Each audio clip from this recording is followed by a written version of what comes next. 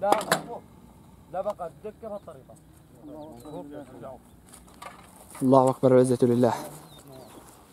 لواء الشهيد غسان طويرش معركة تحرير جدية يقوم أكبر. الأبطال مجاهدين أبطال جيش الحر بدك معاقل قوات النظام الله المنشآت الشيعية الله أكبر. الله